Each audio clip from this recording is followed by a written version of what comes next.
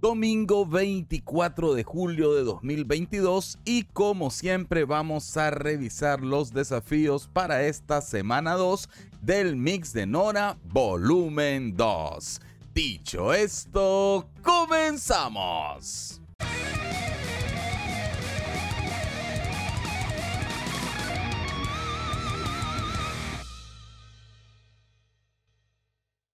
Ah, como les he dicho entonces, vamos a revisar los desafíos de la semana 2 del mix de Nora. En este caso, obviamente, del volumen 2. El primero dice a surfear, mata 20 enemigos en una partida mientras montas una K-Drive.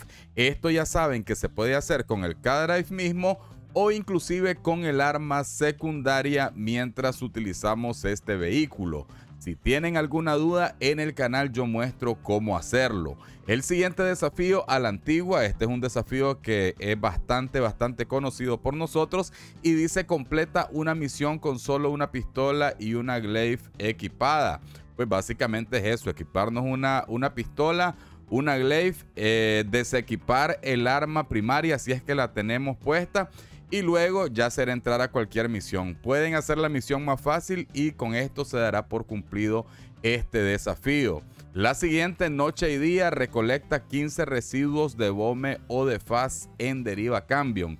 Ya saben que para ingresar a Deriva Cambion debemos ir a Deimos. Podemos ir desde aquí directamente o haciendo uso de alguno de los contratos desde el Necralis. Será cosa de ir a recolectar estos, esto de FAS y este BOME que lo vamos a encontrar a lo largo de todo el mundo abierto. El siguiente dice operativo, completa tres misiones de espionaje, pues esto ya saben que siempre recomiendo hacerlo en fisuras del vacío.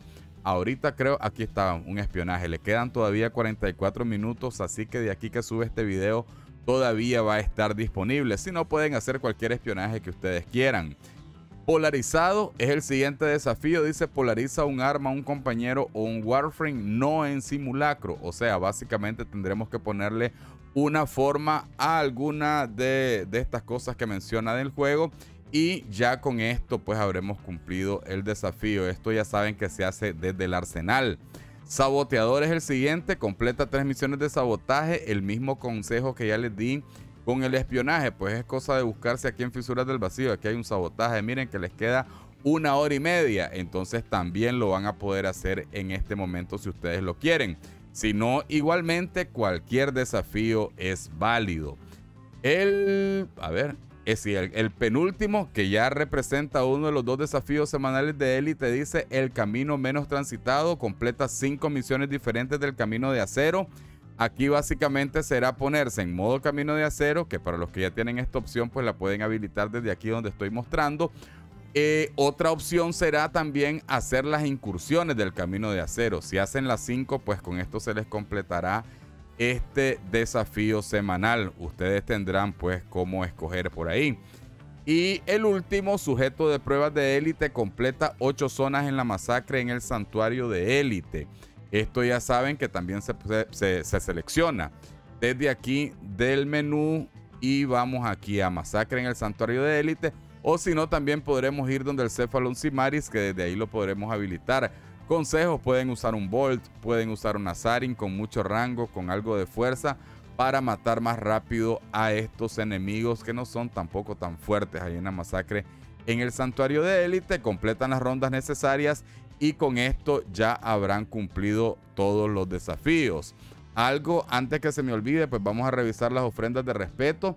Hay un montón de mods aquí. Yo recomendaría de todos estos, ustedes revísenos, pero recomendaría probablemente rejuvenecimiento. Potenciador de carrera también es otro mod que se suele utilizar en, algún, en algunas builds específicas. Tenemos Fashion Frame aquí cascos y skin para armas. Ustedes échenle el ojo si son coleccionistas y les falta alguna de estas. Pues aquí está la oportunidad para conseguirla.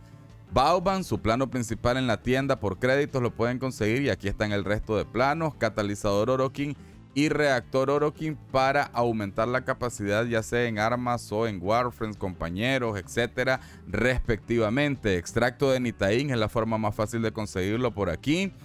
Cuba, pues por aquí también pueden obtener 10.000 de Cuba por 50 respetos de mix de Nora.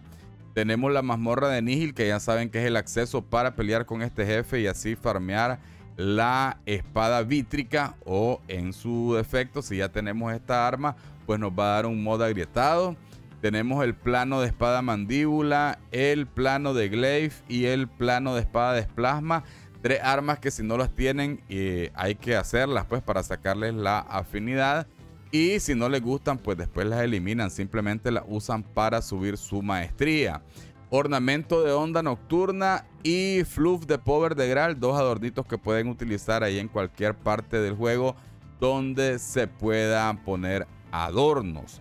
Bueno, esto es lo que hay por aquí. Vamos a revisar también qué es lo que ha traído el Teshin en los honores del Camino de Acero, que ya saben que es esta tienda que se habilita una vez que ya han realizado todas las misiones del sistema solar, pues tienen que ir donde Teshin en cualquier repetidor del juego y con él habilitar el modo de Camino de Acero que de hecho para cumplir los desafíos de esta semana lo van a necesitar. Vamos a ver qué ha traído esta semana y en este caso vamos aquí, honores del camino de acero y tenemos una rica, un rico plano de formita umbra que en este caso sí que lo voy a comprar.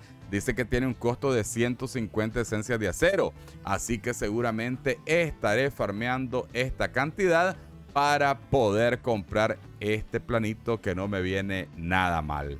Estos son entonces los desafíos de esta segunda semana. Les deseo desde ya una feliz semanita rica, preciosa, bella y encantadora. Los espero todos los días, ya saben, en directo allá por Twitch. Si no me siguen, vayan a hacerlo. Cuídense mucho y como siempre, nos vemos pronto.